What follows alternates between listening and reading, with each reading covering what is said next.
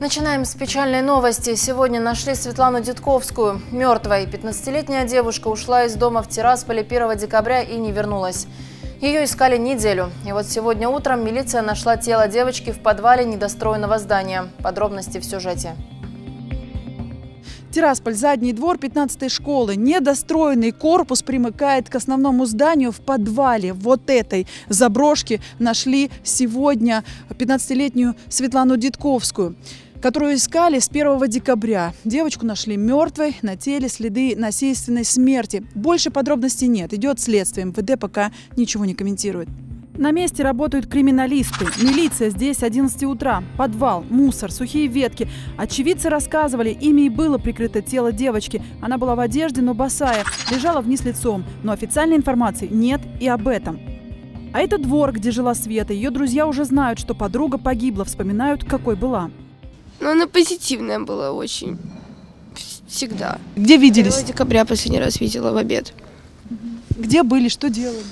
Да сидели тут, э, разговаривали, но веселая была, веселая. Потом ушла куда-то. Ну, виделись до 1 декабря.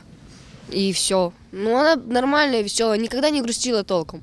Мне позвонила ее подруга лучше и сказала, что она пропала. Я сначала подумал, что это шутка, а потом я увидел в, на, по новостям, что она реально пропала. И я пытался сам ее как-то пробить, найти, но не получалось. Потом опрашивали, милиция опрашивала меня. Я сказал, я не знаю. Я видел около 30 ноября, где-то в обед. Она уходила гулять с ее парнем, другом, не знаю. Она была веселая. Соседи рассказали, девочка часто отдыхала с компанией во дворе.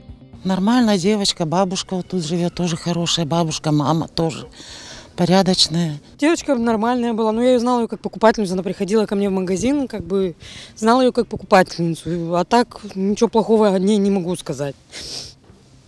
Не могу больше ничего сказать, извините. Они сегодня все хотят какой-то свободы, хотят какие-то копейки, подработку, чтобы купить себе то, что нельзя.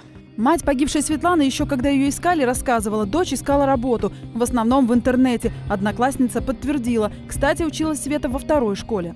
Искала работу, хотела, ну, хотела себя обеспечивать сама.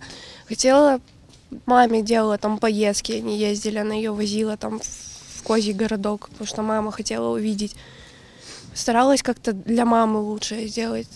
Хотела себе, чтобы у нее были деньги, чтобы она могла себе купить все, что захочет, и не, ну, не просить финансовые средства у мамы, mm-hmm. чтобы сама себя как-то хотела в 16 лет начать там какой-то бизнес, чтобы зарабатывать и не зависеть ни от кого. А чем она, вот в 15 лет разве может ребенок чем-то зарабатывать сейчас? Мне кажется, это еще рано, невозможно. Ну, сейчас много работ в интернете. Какие, например? Ну, те же рассылания ссылок. Ну, тебе, тебе за это платят. Она там работала, как мы знаем. В день, когда Светлана пропала, она так и сказала маме уходит договариваться о работе. Последний звонок был по громкой связи. Мама слышала мужской голос, который торопил дочь. Девочка уехала, на звонки не отвечала. Итог – ребенок пропал. Неделя поисков. Мама и бабушка говорят, опознания тела Светы еще не было. А кто ей в тот день звонил, пока неизвестно. Распечатка звонков Светланы вывела следствие только на друзей и знакомых.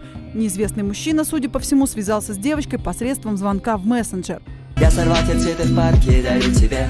Моя жизнь намного ярче, чем была теперь. Вот страница Светы в ТикТоке. Вконтакте в последний раз в сети была 1 декабря в 19.23. А вот Инстаграм Forever 15. Так она себя подписала. В переводе с английского «навсегда 15». Свете было 15 лет.